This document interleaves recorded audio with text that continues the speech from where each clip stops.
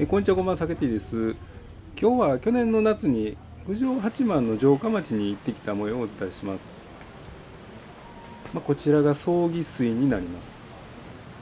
まあ、日本の名水百選第1号に選ばれた湧水ということです。まあこんなちょろちょろ流れてる水なんでちょっと知らなかったらもう見過ごしてしまうような感じですね。まあ、夏で暑かったので、まあ、手足浸すとすごく冷たくて気持ちよかったですけど。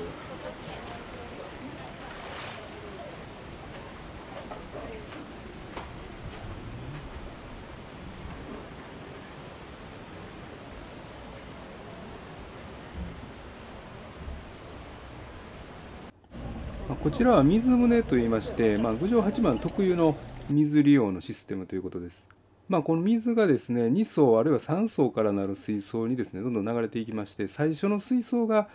まあ、あの飲み物とか食べ物を洗うのに使われまして、まあ、次の水槽にはもう使った後の食器などを洗うということです。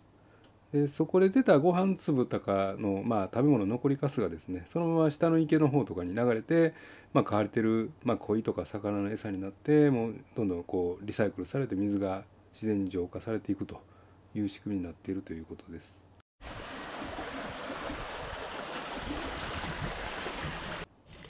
はい、まあ、郡上八幡の城下町あのそこかしこにいろんな湧き水とかですねあの小川が流れてまして、まあ、すごくこ